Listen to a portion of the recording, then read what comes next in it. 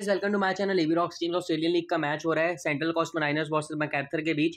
मैं वीडियो बनाने में थोड़ा लेट हो गया था, वो इसलिए क्योंकि मैं एक्चुअली मैं क्या था कि कल रात को भी, मैंने आपको कहा था ना कि ड्यू टू सैटरडे मैं वीडियो नहीं बना पाऊँगा, क्योंकि ज़्यादा मैच एनालाइज करने होते हैं, इसलिए दो मेरी वीडियो मिस हो गई, चार पाँच। तो बात करिए, मेरा टेलीग्राम चैनल लिंक है नीचे डिस्क्रिप्शन में, जाओ फटाफट नीचे डिस्क्रिप्शन बॉक्स में। लिंक पर करो क्लिक एंड ज्वाइन हो जाओ। गाइस हम इस वीडियो के अंदर किसी भी तरह की चीज़ को प्रोत्साहित नहीं कर रहे ये वीडियो बहुत ज़्यादा सेफ़ और नॉलेजेबल है तो जल्दी जल्दी चलते हैं, क्योंकि मैच में टाइम बहुत कम बचा है। वीडियो अपलोड भी ज़बरदस्ती जल्दी में करनी पड़ेगी। सबसे पहले हम बात करें गोल की बिग्रिटी को ले रहा हूँ। बिग्रिटी हर बार मेरी टीम का हीरो रहता है एंड ऑलमोस्ट इस सबकी टीम में रहता है। इसलिए अगर इसने पिछले मैच में पेनल्टी सेव की भी तो भी मुझे गोलकीपर के कारण कोई प्रॉफिट वगैरह नहीं नज़र आया। वो इसलिए क्योंकि अगर ये कुछ करे या ना करे, इसमें आपको कुछ भी ऊपर नीचे नहीं होगा, क्योंकि बिगरिटी एक मेन प्लेयर बन चुका है।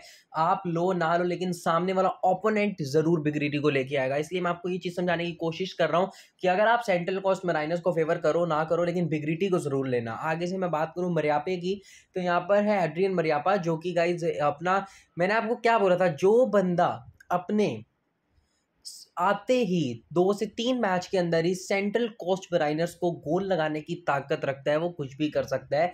First impression is last impression मैंने आपको ये बात कब की बोल रखी है और वो इसी की, वो इसी के ऊपर मैच होती है और मैं इस प्लेयर को एकदम मानता हूँ कि हाँ भाई, अगर किसी ने खेलना है ना लाइक इसके खेले क्योंकि ये होते हैं डिफेंडर एंड टी स्कॉक की बात करें टी स्कॉक जैसे कि कुछ दिन आपको पता है बीच में नहीं खेला था तो उन दिनों सिर्फ़ मरियापा ने गेम संभाली। ये चीज़ मेरे को बहुत अच्छी लगी कि इसने कमी नहीं खेलने दी। हमें लगा था कि स्कॉक नहीं खेल रहा तो पता नहीं मैकैर्थर टीम का क्या होगा, लेकिन कुछ भी कमी नहीं खेलने दी।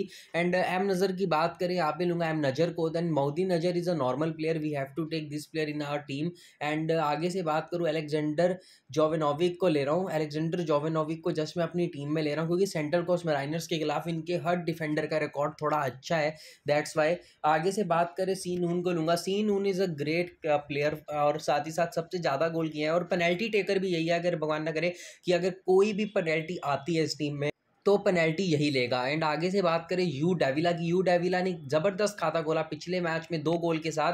पूरे सीज़न बिल्कुल दब के चल रहा था ये प्लेयर लेकिन इस बार ऐसा खेल दिया कि सारे देखते रह गए। निस्बेट की बात करें, जे निस्बेट ले सकते हो या फिर ले सकते हो फैरल अब ये मैंने आपको कहना था कि ये आप पे डिपेंड है कि आपने फैरल के साथ सेफ़ जाना है कि निस्बेट के साथ रिस्क लेना है। और अगर मेरी राय मानो तो तो फैरल के साथ सेफ़ जाओ, क्योंकि फैरल एक अंडरस्टैंडिंग वाला डिफेंडर है एंड सी गोडार्ड को लेना है, ले सकते हो, या गोडार्ड की जगह निस्बैट ठीक है, पर मैं गोडार्ड के साथ हूँ, आगे से बात करूँ कमिंग्स की दैन जे कमिंग्स ने बीच बीच में थोड़े बहुत ही असिस्ट गोल्स किए हैं तो इसलिए वो चीज़ हमें झलकती है कि इस प्लेयर को लेना है एंड आगे से बात करूँ नेक्स्ट प्लेयर की जो कि है, जो आपके सामने एंड ये वाइस कैप्टन के लिए अच्छा है ऑप्शन है। जो लोग मिनी जीएल या जीएल वगैरह खेलते तो वो अपने एक आधी टीम में उसको अपना as a vice captain try कर सकते हैं। आगे से बात करें कैप्टन की कैप्टन है नून वाइस कैप्टन है उसकॉक।